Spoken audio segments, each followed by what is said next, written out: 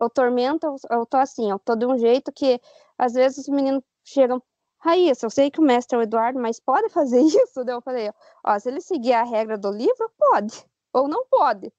Daí vai depender de você conversar com o mestre ali.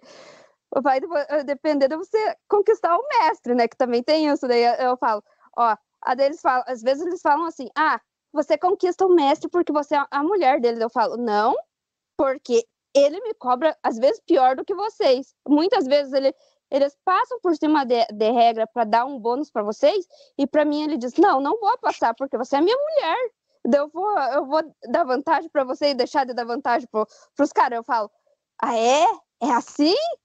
Então tá, né? Tipo, eles até falam, ah, você tem vantagem, você tá bufada, você faz isso porque você é mulher. Não, porque eu sigo o livro. Eu vejo que tem a tendência de deixar bufada, eu vou. Eu, eu vejo que tem essa brechinha, eu vou, eu combo. Eu sou cumbeiro, eu só posso combar, tô combando.